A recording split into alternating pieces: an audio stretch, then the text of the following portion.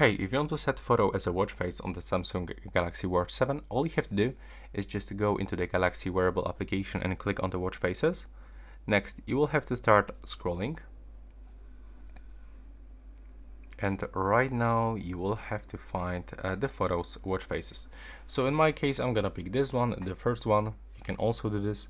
And now when it's set, you can click right here on this edit icon. And now you will have to go into the background and you can click on the picture source and now you are able to add pictures from your gallery or from your camera. So I mean you can just take the photo right now. But in my case I'm going for the gallery. Uh, let's go for the photos and I would like to get maybe this photo as a watch face. Click done. Now just wait for the downloading process.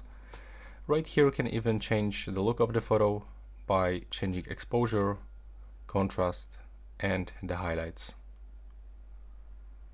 Click done if you want to confirm. And now if you want to click save, I mean if you just click save, you will apply this as a watch face.